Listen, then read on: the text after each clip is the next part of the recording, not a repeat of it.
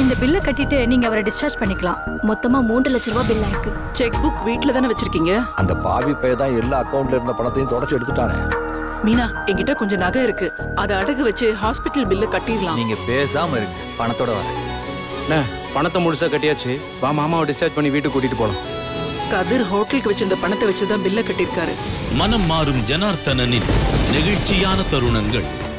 நீங்க உங்க தம்பிகளை நல்லா வளர்த்துருக்கீங்க. நீங்க ரொம்ப கொடுத்து வச்சவர் மூர்த்தி.